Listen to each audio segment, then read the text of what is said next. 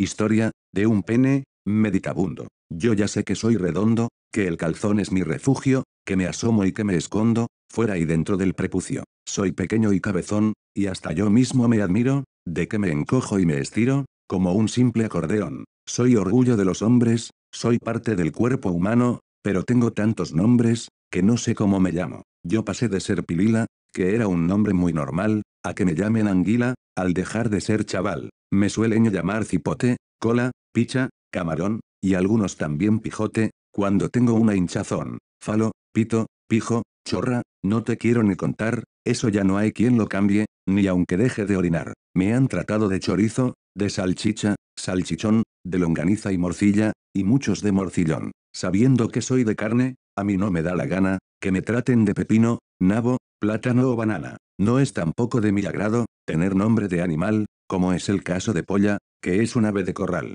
Lo de pájaro o canario, ya no se puede evitar, me lo dicen a diario, y me tengo que aguantar. Para algunos soy el bicho, para otros el gusano, que son nombres de capricho, puestos por algún fulano. Butifarra, fuet, chistorra, son otros apelativos, que al igual que tranca y porra, me parecen abusivos. Y con todos mis respetos, a mis vecinos de abajo, ya estoy hasta los cojones, de que me llamen carajo. Para algunos soy un puro, para otros la colilla, y además de ser pirulo, soy pirula y pirulilla. Tengo nombre hasta en francés, me denominan, baguette, lo inventaría algún burgués. Al vérsela en la toilette. Herramienta o instrumento, son nombres de los que huyo, como tampoco consiento, el de mazorca o capullo. Sin embargo, cebolleta, con ese nombre yo flipo, al igual que con zambomba, flauta, trompa y con calipo. Cuando estoy muy decaído, por culpa de mi trabajo, la mujer dice al marido, vaya mierda de colgajo. Esto ya parece un churro. Mientras otros por ahí,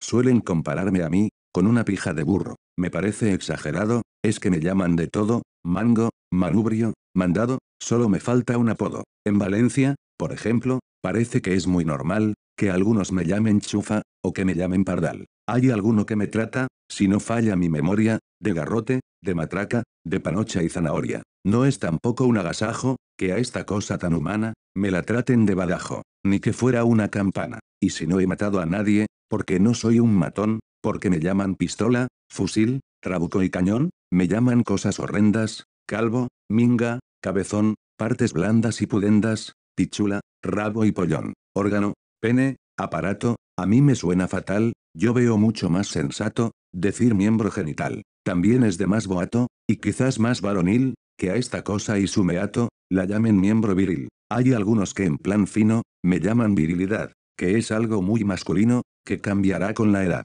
Tengo nombres por castigo, y es que hay gente tan moderna, que dice que soy su amigo, o bien su tercera pierna. Yo no sé cómo consigo, sin tener ningún negocio, que además de ser amigo, les dé por llamarme socio. Es que me hierven las venas, voy a romper el frenillo. No quiero ser quitapenas, ni verga, ni cinganillo. ¿Por qué me llaman manguera? ¿Por qué me llaman asunto? No me cabe en la mollera. Son cosas que me pregunto. Si yo hubiera sido hombre, y no una parte de él, no tendría tantos nombres, me llamaría Manuel. Sin embargo, a mí me llaman, yo no sé por qué razón, de mil maneras distintas, por vivir bajo un calzón. Ya no sé lo que pensar, que no me insulten jolín, que estoy hecha pamear, como sabe todo el mundo, y para algo tan profundo, como es dar y Dicho esto, aquí les dejo, me despido, y pongo fin.